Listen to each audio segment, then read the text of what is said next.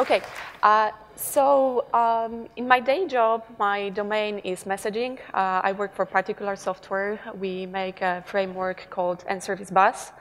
Uh, so basically, I create tools for other developers that allow them to build distributed systems, and we also make tools for monitoring them. But indirectly, by helping our customers, I, um, I learn a lot about many other interesting domains. And uh, the thing that, uh, the main reason why I wanted to be a software developer is because I really, really like helping people. I think it's fascinating that by building software, we enable businesses to do stuff that wasn't possible otherwise. Like take Netflix. Everybody talks about how awesome they are because they have microservices and because they handle failures in very unusual ways. But what is really exciting for me about Netflix is that they started as a DVD rental company, then they moved, they do um, you would say, new generation of TV without ads, very different business model. And right now, thanks to technology, they made another change and uh, they are producing um, movies that they know people will love because they have all that data about what people want to watch. So that's really exciting, and I, I want to help people to um, be more effective in their job, save them time, uh, and, and enable them to do creative stuff and automate all the boring elements of their jobs. But of course, if you're a software developer, then you know that sometimes things don't just go exactly according to the plan. Sometimes we have this misalignment between what business wants, what they expect, what users want, and what the software actually does. So a great example was a few years ago. Um, that was before I got my first programming job. I worked in a call center for a mobile phone company as a consultant. So basically my job was to call people, tell them, hello sir, your contract is about to expire, we have this new offer, uh, we have new promotions, we have new phone, um, and basically encourage them to sign up a new contract or upgrade their plan.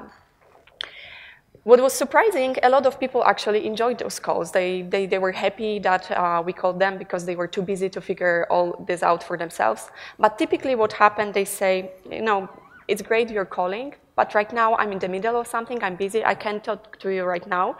Uh, so I have this and that, and yet another question. Can you please um, do the research, prepare an offer for me, and call me back next Wednesday at 11.47. I will have like five minutes to talk to you then. And that could be a very straightforward job, very easy. Only we had this software for managing all the calls. So from the consultant perspective, all you did see in front of your computer was a big button. You press it and you say, give me the next call. And then you will have like 10 seconds before you were connected to the client to see all the information about them. And with that system, it was impossible to schedule a call at a specific time.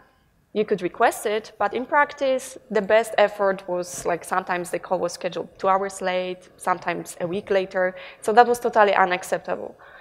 Another problem was that by design, all calls were assigned randomly. So I couldn't say, I'm a consultant for this client, I already talked to them. Uh, and people really hate when every time a different person calls them and they have to explain everything all over again. So again, we couldn't accept that. So first, we were, uh, we were forced to come up with a little workaround, and the workaround was very simple. So everybody got a paper calendar, and we took all notes in this. Uh, so our wonderful, beautiful, modern, and I guess quite expensive software basically was an expensive, useless, annoying phone book. So that was a bit extreme example, I think, because like the fundamental assumptions about how, uh, how the work is done were completely wrong. But I'm sure that everybody in this room has similar examples, like when we built features that didn't really work exactly as users wanted, um, and maybe we created systems that were a bit frustrating for customers.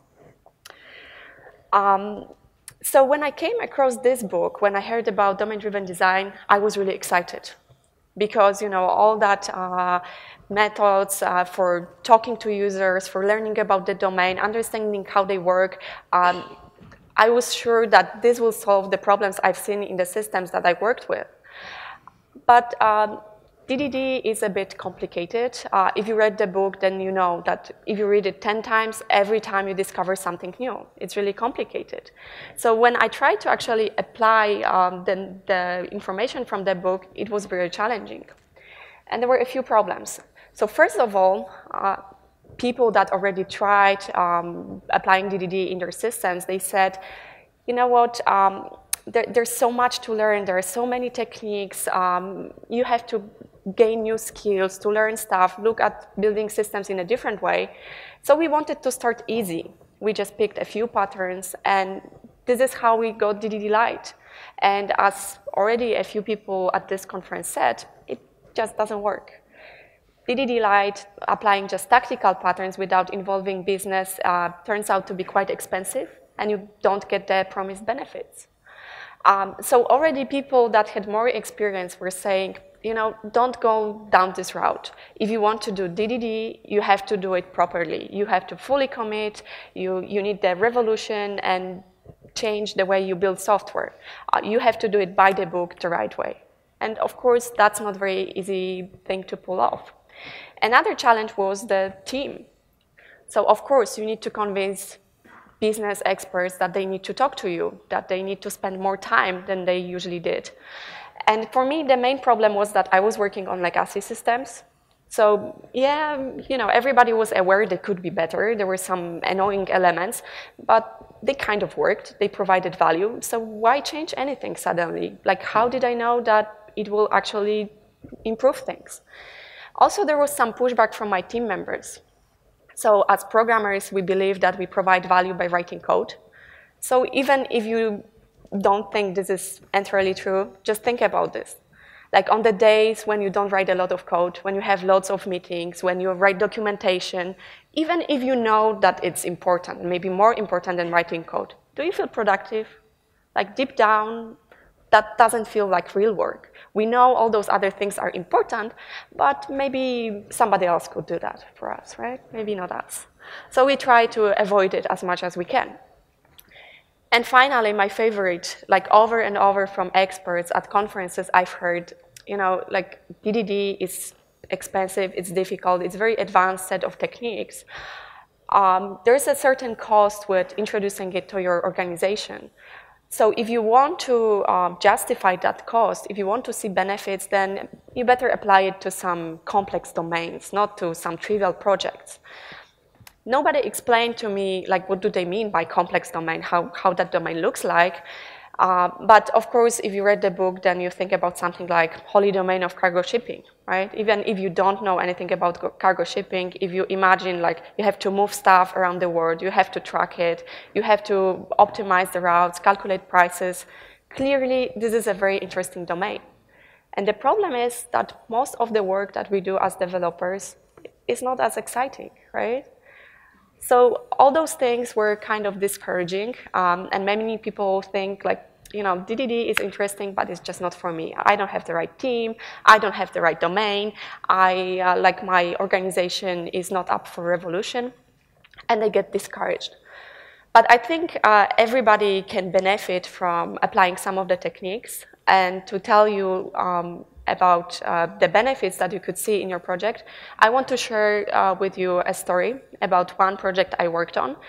Um, I picked this project because the domain is very easy to understand, it's very easy to relate to, but uh, the observations, I believe, are universal. There's nothing specific about this project in particular that makes it special. So everything started uh, a few years ago uh, when with my then not yet husband, we got a joint account. So of course we wanted to, you know, uh, take better care of our money, manage it more efficiently. We wanted to see where our money goes, how much we spend on what, and make some responsible decisions about uh, our finances. So in the beginning, we simply tracked expenses using the most popular financial application of the world, meaning Excel spreadsheet and it kind of worked. Uh, but very soon we started getting more interesting questions. Like we made some investments. We wanted to see what's the return on those investments, which investments were better than others. Or we saved some money and we wanted to decide, okay, so should we go on holiday? Should we pay off our mortgage? Should we invest that money? And getting that information from just a list of expenses uh, is not very easy. So we are a couple of two software developers. So of course, in that situation, you know, sooner or later, one of you just says, let's write our own app. It would be perfect. Uh, we will get all the features that we want, uh, and uh, we will have beautiful visualizations. We can use all the frameworks that we like just for practice, and uh, you know what can go wrong. And this is what we did. And we started noticing interesting things. So the first thing we noticed is that some expenses are kind of different. So for example, I'm self-employed, so every, uh, from every income I get, I have to set, set aside some part of it to pay tax, taxes and insurance. And when at the end of the month you looked at the expense reports, you would see that we had this big category, a large chunk of all our expenses were related to me being self-employed. And that was kind of silly because, of course, my husband's also pays taxes, also pays insurance, but in his case, all, those, all that information was hidden because his employer covered that even before he got his salary. So um, that information was kind of noisy and kind of unfair. And another problem, even bigger, were business trips. So from, from time to time, my husband goes to visit customers in States or Canada.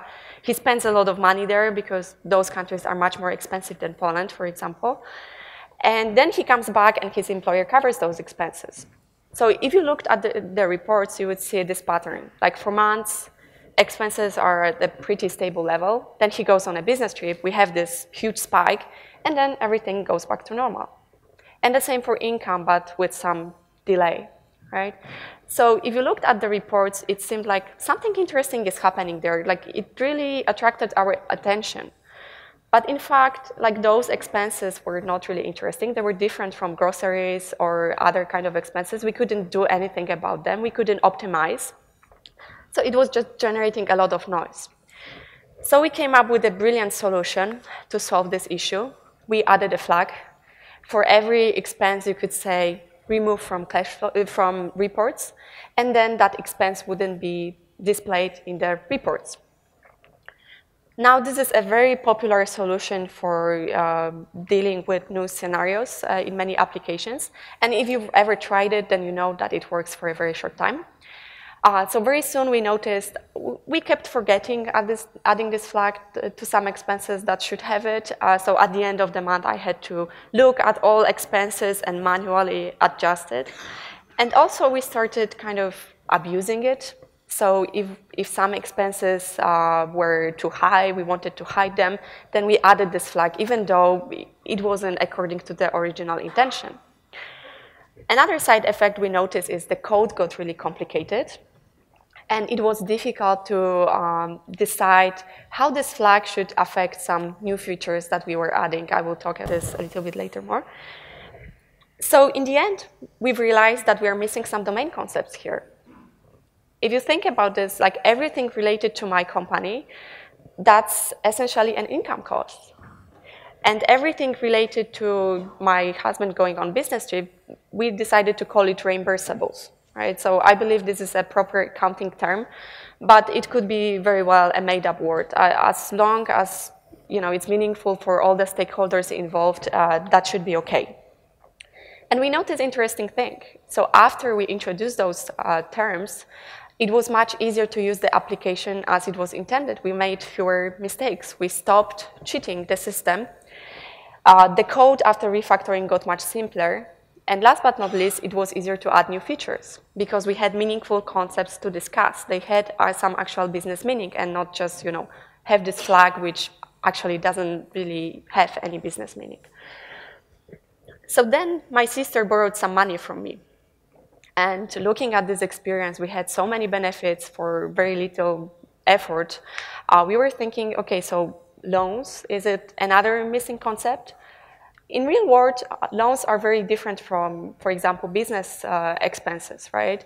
So we were thinking, um, you know, maybe we should model it explicitly.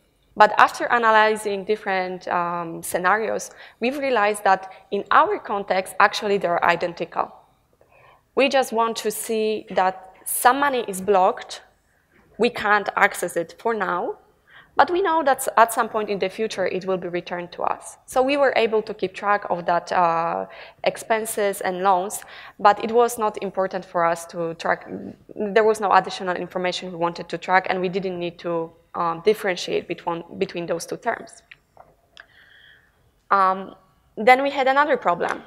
So at the end of every month, I was looking at the expenses, I was analyzing reports, and I started becoming really concerned.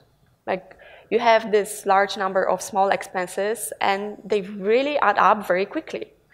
So I told, I said to my husband, you know what, Seb, I, I think we should really do something about this. This is not right.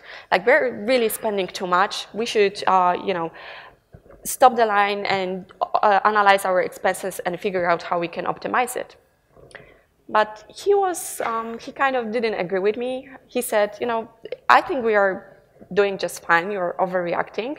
It's not like we are, you know, living paycheck to paycheck. We have enough money, we're saving. So I think you're, you know, you need to calm down and just enjoy spending your money more. Uh, so so uh, I started thinking, okay, so maybe he's right. Like, if he's right, then why am I getting concerned? Like, what kind of information am I really looking for?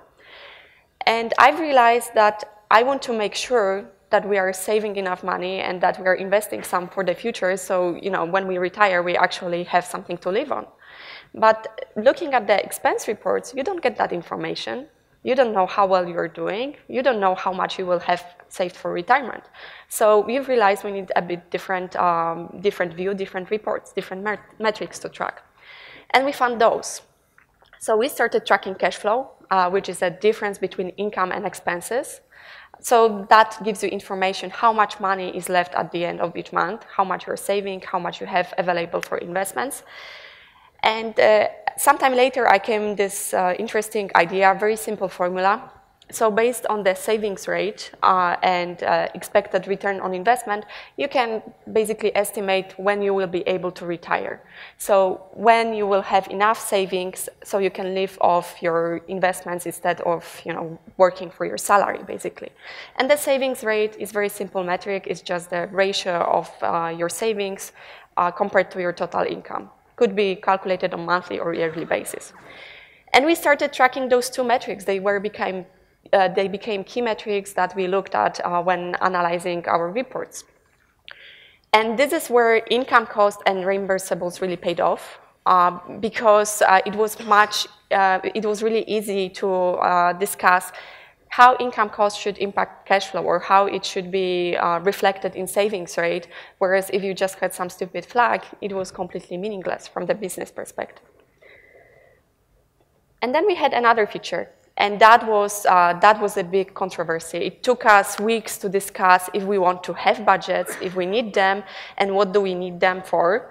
Uh, like my husband says, I'm a control freak, so I want to, you know, I, I want to know how much he spends and on what. So he was very uh, careful about implementing this feature. And, uh, and then when we agreed, okay, let's, let's do budgets, we couldn't decide how they should be implemented. We had very different ideas.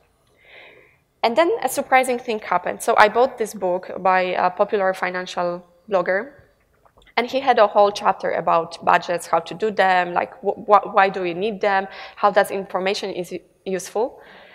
And I read this chapter, then my husband read that chapter, and we figured out, you know what, like all this time we really were in agreement. We were talking about the same thing, just using different words. And we needed that book to realize that. We needed a bit different perspective and different kind of uh, explaining things. So, uh, of course, I could uh, tell you about more features and tell you more stories. There, um, we worked on this application for quite a long time.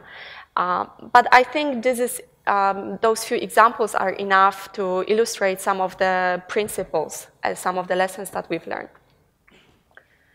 So the first thing that we noticed uh, is uh, when you, when you get started with DDD, uh, you kind of expect that now things will be different. So now you have this wonderful tool, you have this magic wand, you know how to speak to the users, how to learn about your domain. So um, maybe you want to do, I don't know, event storming session or use some other technique to, to figure out the requirements. But the expectation is that this time things will be different.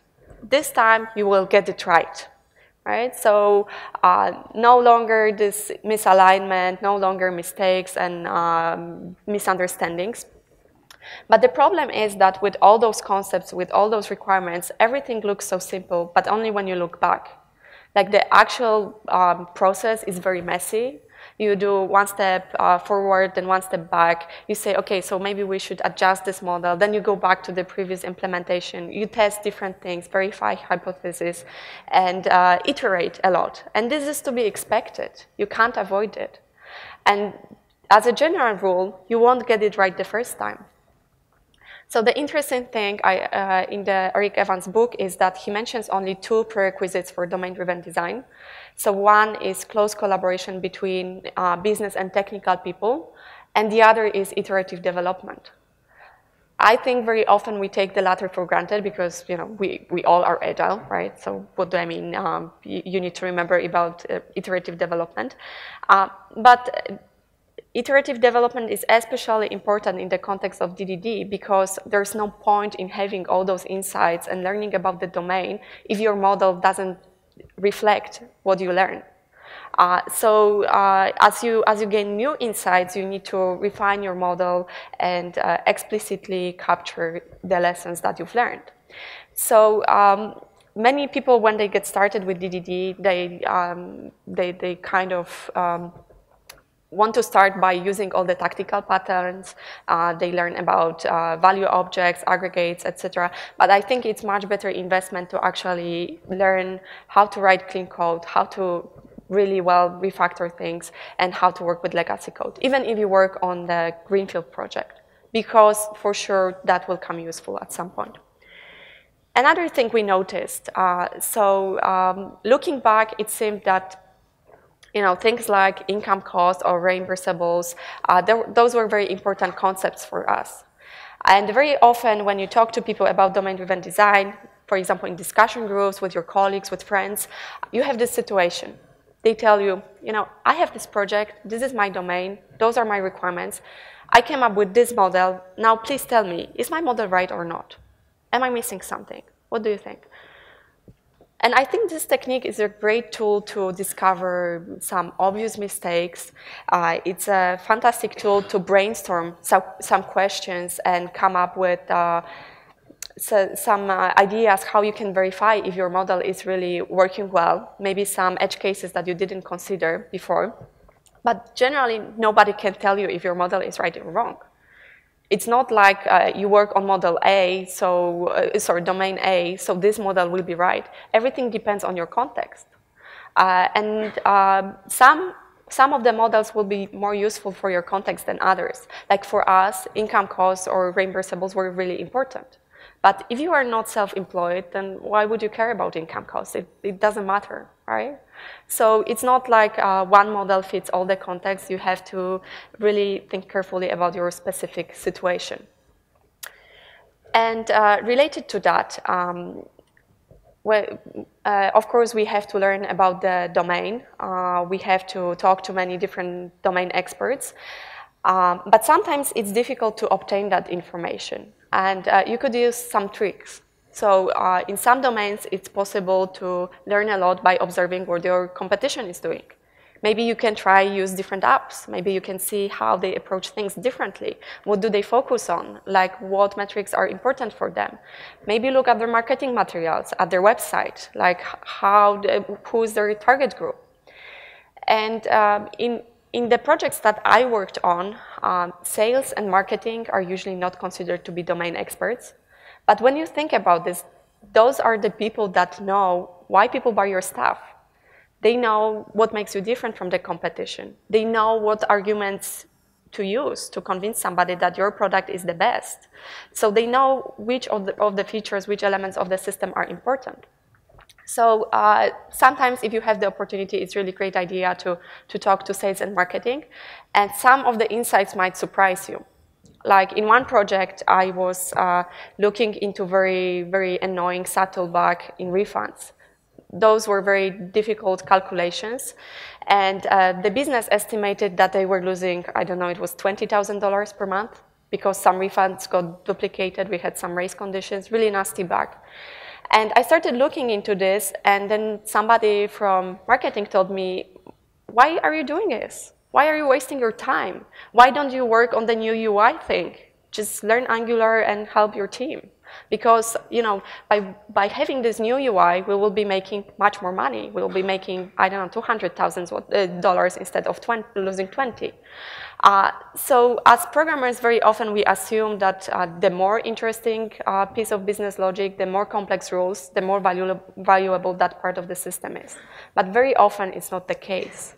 So you have to verify this assumption uh, because that, uh, that rule about complexity might be really misleading.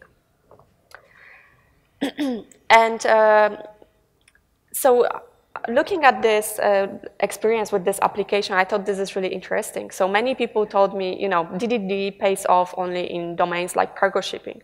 But here we have some stupid personal finance app, and we had so many interesting insights. Uh, so I decided to share what I've learned, uh, and I blogged about it. And some of the reactions were kind of surprising. Some people told me, okay, it's interesting, it's nice, but where's the code? Show us the code or it didn't happen. And you get that a lot with developers. so, uh, but uh, intentionally, we didn't want to, to show the code because then you get all those endless discussions, you know, tabs versus spaces, should you use this framework or that framework, or why did you call it this, or why is it in this layer, why didn't you use event sourcing? And I thought those discussions are not very valuable because you can't easily apply them to, to other domains. Um, and also in our case, like the code was not really that interesting, wasn't really that complex. But it made me realize one important thing. So as developers, this is how we see complexity. Somebody tells you, I work on this nice, interesting piece of business logic, and this is what you imagine you have a flow diagram with so many nested ifs and you can clearly see, right, this is something you know, interesting, so many edge cases, this will be fun. Or maybe coupling is the challenge in your domain. Maybe you work on some old system and you know you touch one little piece of code here and then suddenly something else blows up and you didn't even know that this other system existed. Or maybe com the complexity is the scale, or maybe keeping up with all the JavaScript frameworks because you do front end. Uh, but either way, we think about complexity in terms of technology. But in our system, complexity was something else. If you get started with personal finance, you quickly notice there are literally thousands of experts. Everybody has their own method. Everybody says, I'm right, all the other guys are wrong, just listen to me. Uh, everybody makes up their own vocabulary, and it's very difficult to make any sense of it. Uh, you feel confused and overwhelmed. So of course you could distill all that knowledge to the extreme. You could say, you know, like personal finance, it's trivial, it's just one rule. Make more, spend less, what's the big deal? And the problem is it's not very useful. It's not actionable insight. You need some more information. So you start reading and gradually you start noticing like this guy and that guy, they use two different words, but really they're talking about the same concept. Or maybe uh, they use the same word, but really they're talking about two different things. And gradually that helps you figure out which of those concepts, which of those methods make sense for you, and which uh, you might want to somehow incorporate in the system you're building. Another kind of complexity that we had were, of course, relationships. Some people say that all problems at the end are people problems. And if you work for a big organization, then this is very visible. You get all those conflicts. Uh, people disagree, like which part of the system is more important.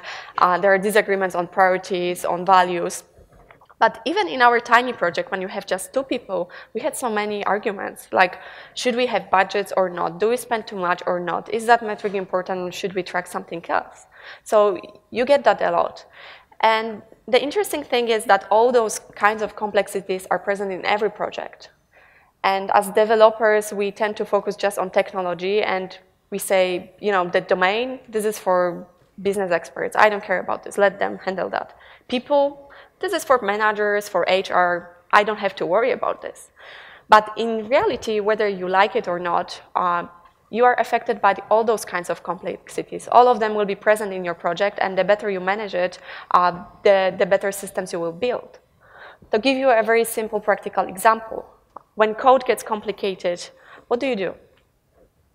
If you're a programmer, you look at this and like, okay, I have to refactor this.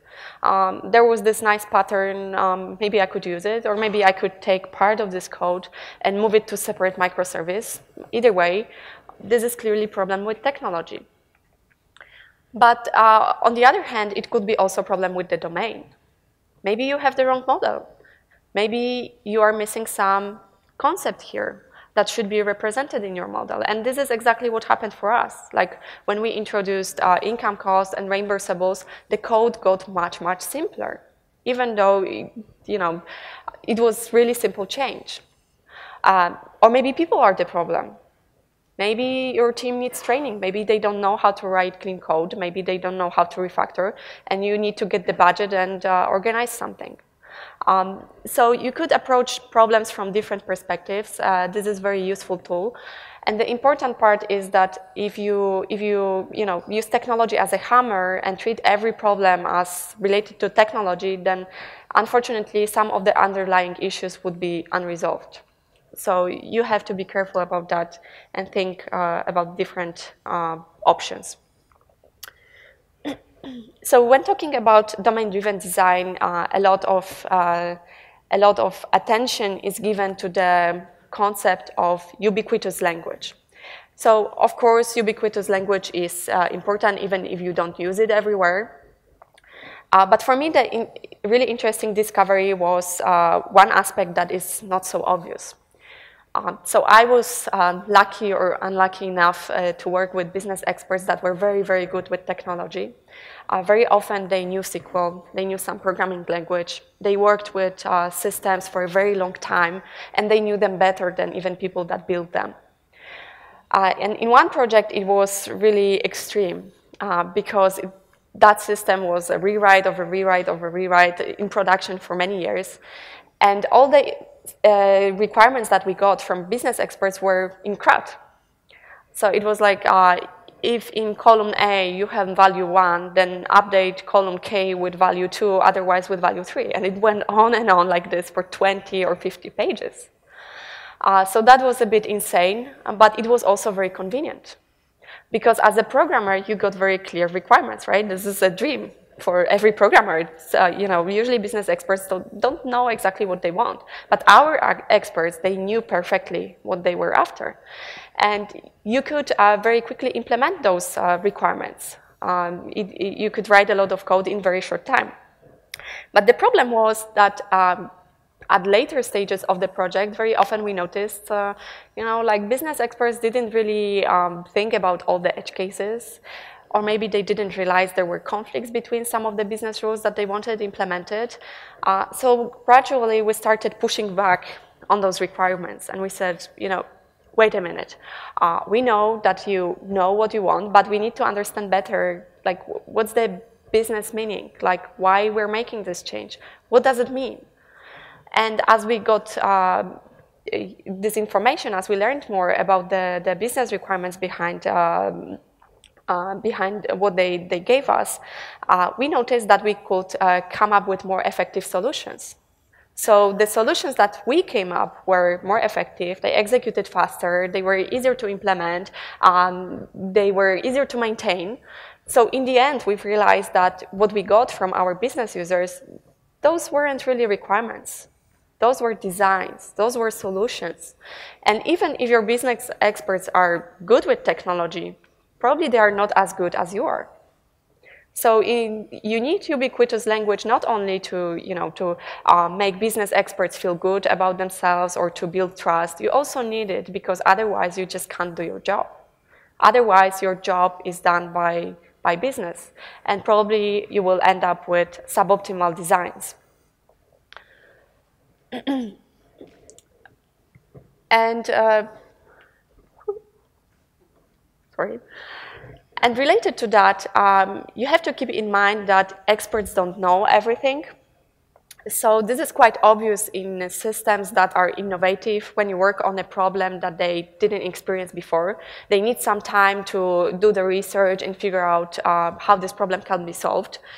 Um, but very often what happens, um, they, they can tell you what should be done, but they don't know why Maybe because somebody 20 years ago told them this is how you do things. Maybe because they've always done it that way. Maybe they just know their own little piece of uh, process and they don't understand the big picture. So you have to challenge them on that and uh, collaborate to figure out the, the real requirements. And sometimes you can come up with something uh, better than what they originally had in mind. And uh, also it's interesting when you can involve many different experts, like uh, people from marketing or sales, and see how they disagree with each other. You know, when they face each other, when they talk, uh, only then they see all those conflicts. But usually they are pushed to developers and we have to somehow figure out how to, you know, resolve this, how to make everybody happy. Uh, but if you push back and have experts to, to discuss this, then you can, uh, you can uh, get really interesting insights. And also experts sometimes are wrong.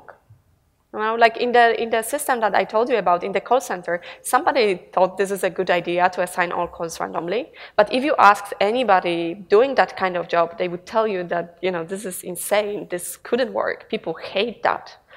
Um, so you ha have to also keep in mind that uh, you can't just expect uh, business experts to come to you, give you all the requirements and blindly follow what they tell you. You have to challenge them.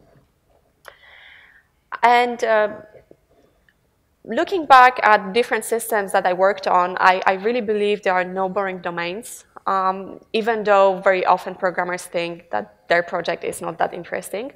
Uh, like a few years ago, I worked on this huge e-commerce system it was uh, really, really complex. We did everything there, like uh, search, catalog.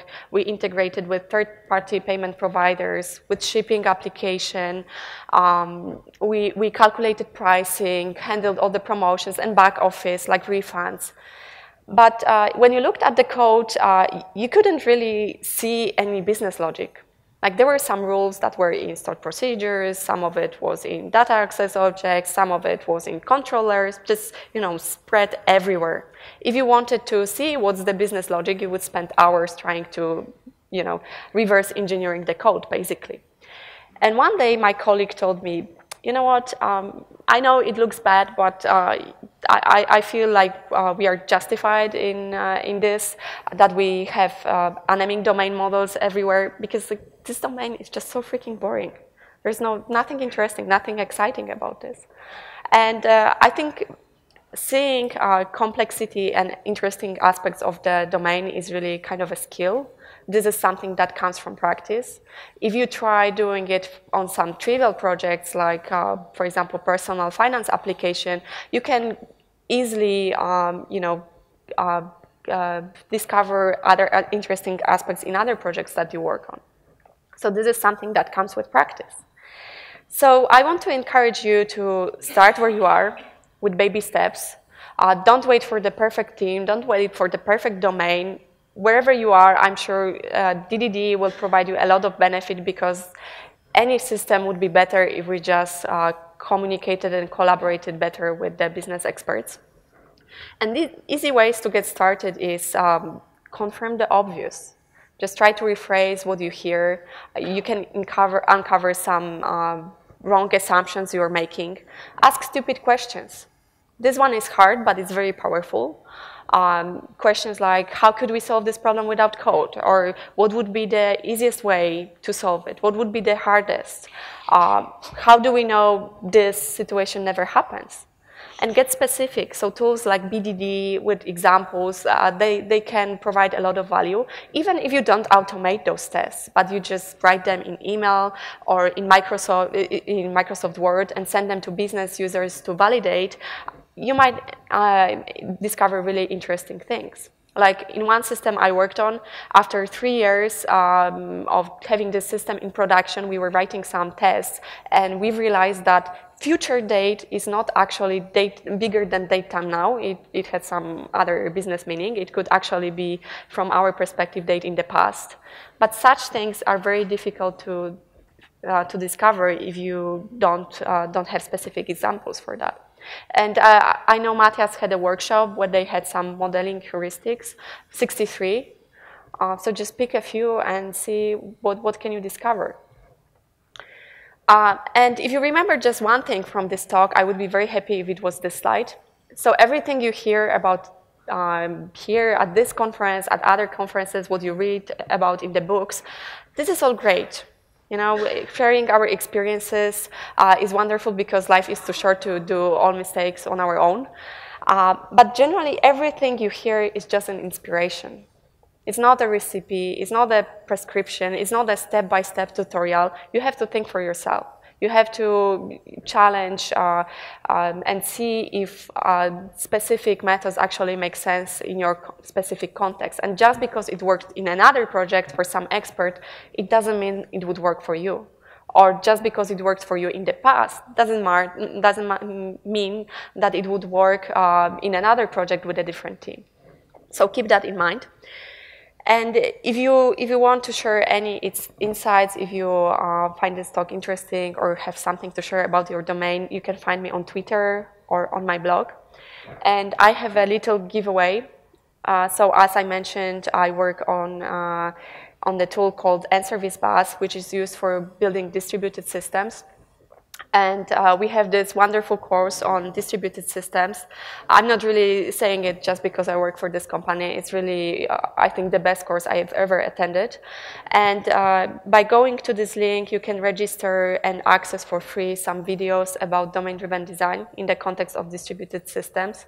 I'm sure you will find it interesting uh, and that can provide a lot of value in your project. Uh, I completely agree with you. There are no boring domains or at least today there are no not complex domains. But what I'm missing here is uh, always also in Agile and in DDD is really what is the core of what we are doing. So basically the core domain is the uh, domain who gives us advantage over others. And the same question I still ask in, in Agile projects. So why we are doing this again, why we don't buy something. So concentrating on the core could be a could be a differentiator for this. Uh, yeah, yeah, yeah, definitely. Yeah, but uh, sometimes, um, and, and I know other people mentioned that in other talks, that what you think is core changes over time. Right? So sometimes you start with some assumptions and you think, okay, this is what makes me different. But then when you actually have people using your application, you discover that uh, your assumptions were wrong. Or maybe, you know, your business evolves and Bus yeah. Oops, business also changes. But um, as you said, uh, ask questions or, or think, uh, basically when starting uh, with the DDD uh, mindset, I also would try to find the core or to elaborate more yeah. on this one. Yeah. But uh, I think it's the, the most important thing is to always keep the open mind and be, uh, you know, aware that anytime everything might might change.